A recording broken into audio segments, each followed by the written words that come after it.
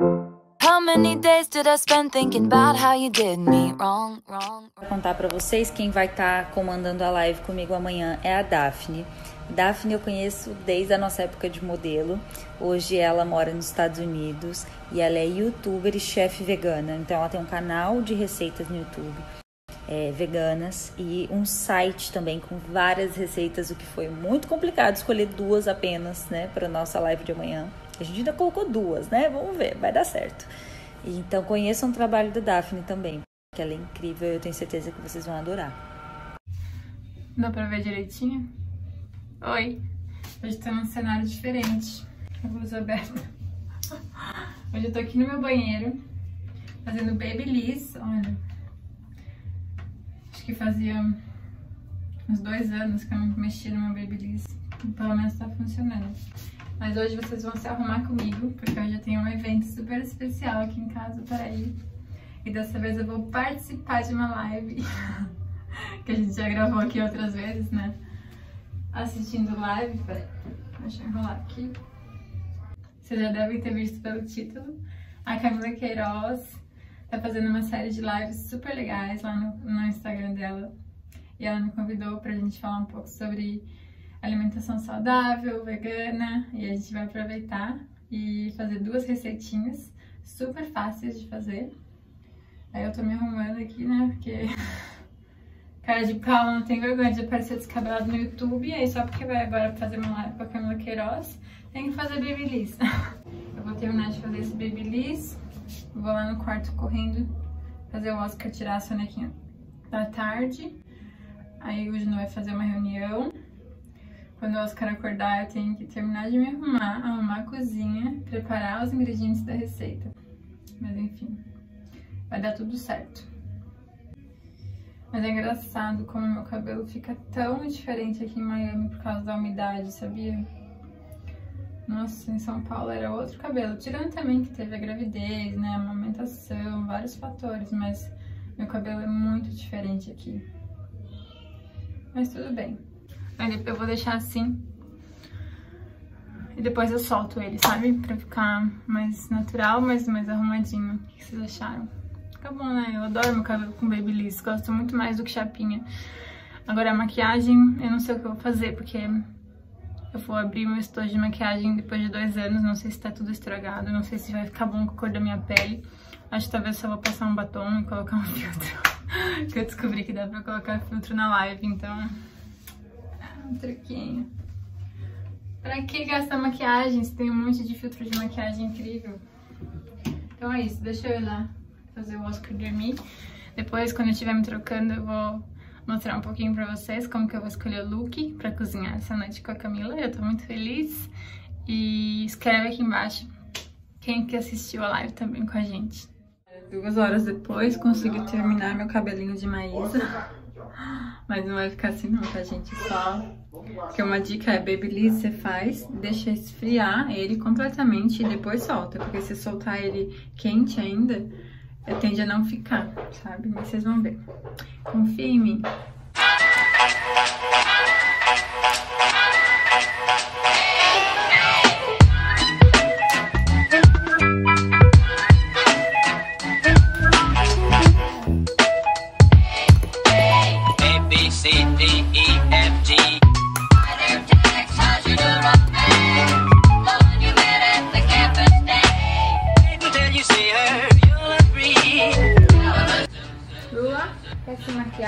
Vem aqui. Ai, que linda. Eu gosto de maquiagem. Você quer também? Quer? Tá bonita? Quem é essa, né?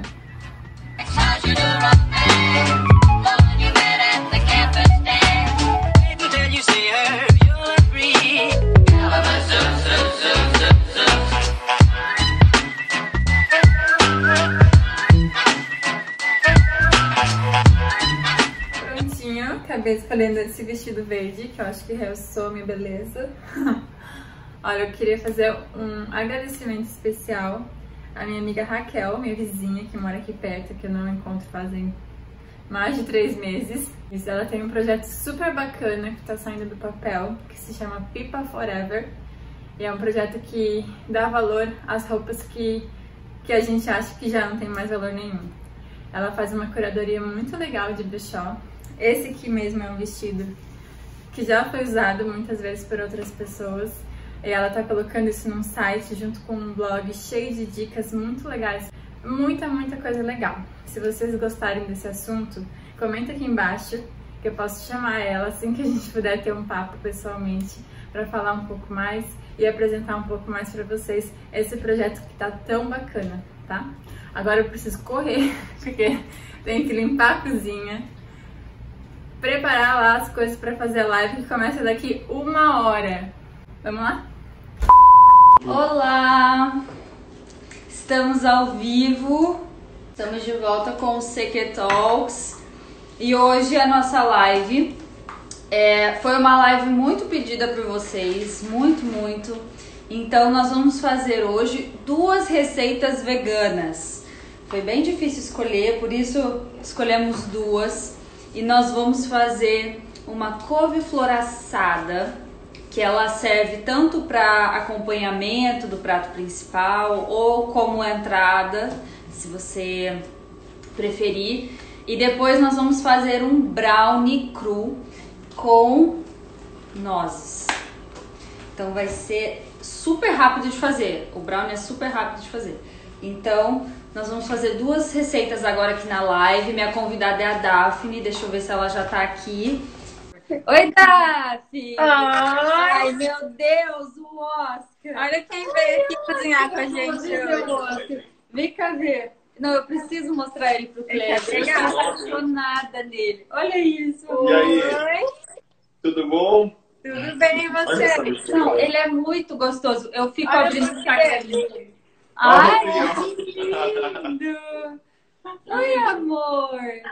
Tadinho. Ô, Daf, eu fico olhando o Instagram dele. Toda hora eu fico mostrando pro Kleber, porque ele é muito simpático, né? Sorridente. Muito espontâneo. Muito gostoso. É.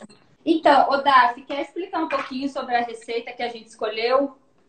Sim, é, eu fiquei bem contente com as escolhas, na verdade, porque essas receitas tem lá no meu site, mas eu nem gravei elas ainda, então vai ser a primeira vez que a gente está filmando. E primeiramente sobre a couve-flor, eu acho que é uma receita muito interessante, porque você mesmo falou, né? Você comentou comigo que vocês fazem uma couve-flor aí e tende a ficar meio sem. Assim, não é sem gosto, mas É, não tem não uma apresentação forte, né? É, eu sinto que precisa colocar bastante tempero para ela vir, né? Pro sabor dela É, vir. tem mesmo.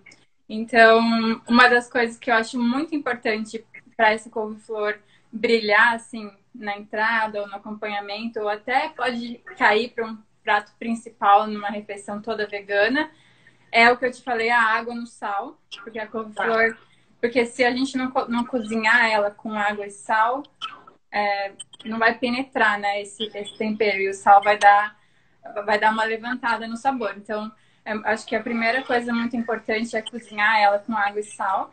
E Tá. aí agora o creme que a gente vai fazer, que vai dar, que vai deixar essa couve-flor, vai cobrir ela e vai trazer todo esse, esse sabor totalmente vegano, né? É. Então, uma- me perguntaram muito quando eu anunciei a live se nós éramos veganos.